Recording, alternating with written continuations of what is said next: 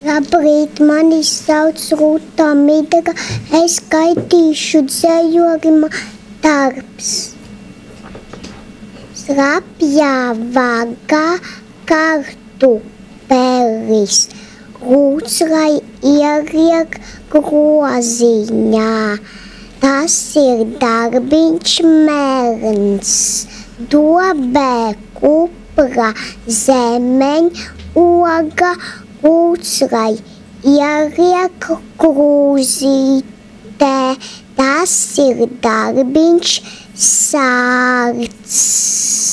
Augstā plauktā mirti rūts, lai iejauc migrātos.